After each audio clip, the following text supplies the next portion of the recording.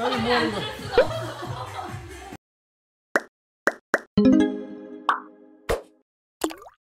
네, 안녕하세요. 유미입니다. 어, 지금 여러분들께 보여드리고 싶은 이 영상은 순풍 댄스예요.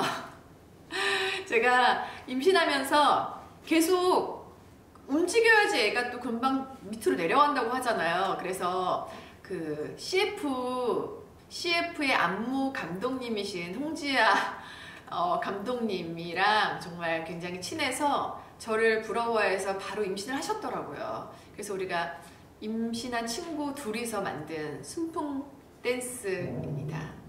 함께 보시죠. 기다려.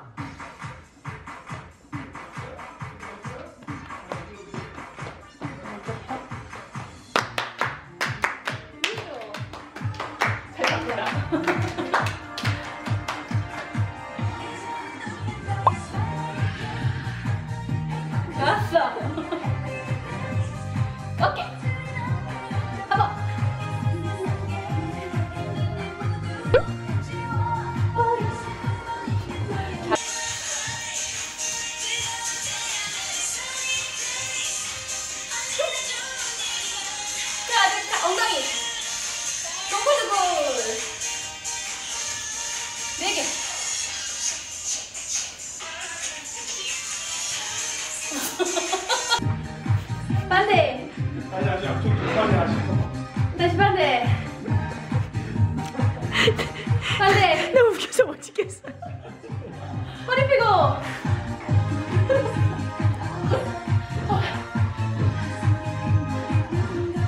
성공. 올리면 좀 올려줘. 노래. 나이주.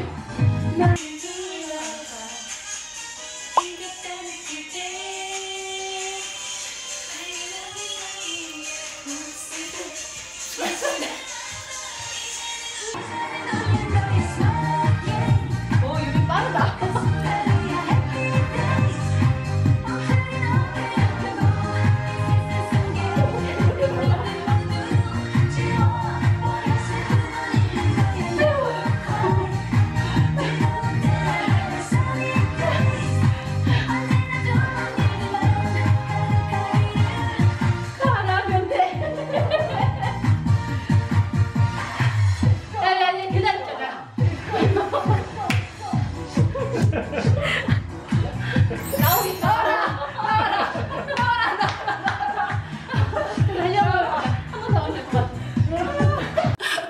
네, 뭐, 네, 저 지금 수박 댄스는 여름에 찍어서 많이 좀 노출이 있었지만, 어, 그냥 그게 저의 일상이에요. 네, 더우면 벗어야죠. 추우면 입고. 네, 그래서, 어, 여름에 찍었는데 배가 아주 그냥 한껏 나왔죠.